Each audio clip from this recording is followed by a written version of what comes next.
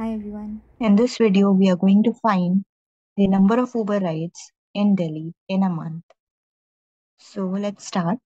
I'm going to start uh, this guesstimate with the population of Delhi, assuming it to be 30 million.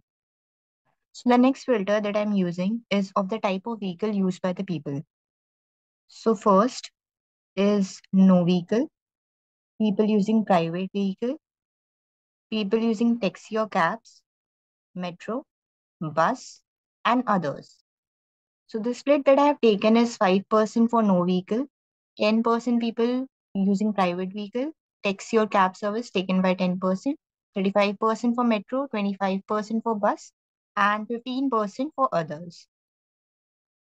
Now, so since uh, our problem statement uh, is of number of rides, we are going to ignore the other mode of transports and only concentrate on the taxi or cab service. In next step, I'm gonna divide the taxi and cab service uh, population into two. People using app-based service, people using local service. The split that I have taken is 60% for app-based and 40% for local services. Again, since our concentration should be on Uber rides, which is an app-based service, I'm going to ignore the local service and just concentrate on the app-based service. Next, I have put a filter of types of users. I've split the users into four categories. Heavy user, medium user, light user, and occasional users. The split that I have taken is 40%, 30%, 20%, and 10% respectively. Now next, we are trying to find the number of Uber rides per user type per month. So to find that, I'm starting with average number of rides per day per person. Then I'll find out the average number of rides per month per person and thereby calculating the number of Uber rides by user type. So first, average number of rides per day per person. For heavy user category, I have assumed it to be two rides per day. For medium category, I have assumed one ride per day. For light category, I have assumed half ride per day.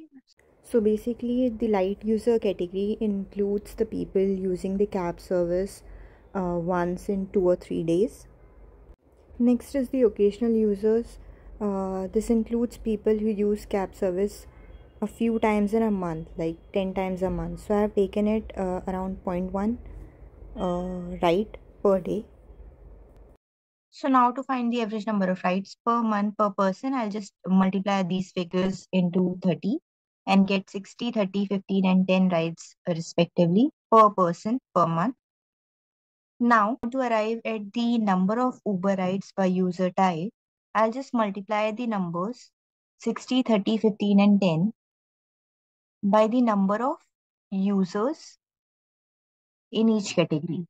So I have 0.36 million into 60, which gives approx 22 million for heavy users and similarly 8 million for medium users. About 3 million rides for light users and approx 1 million rides taken by occasional users in a month.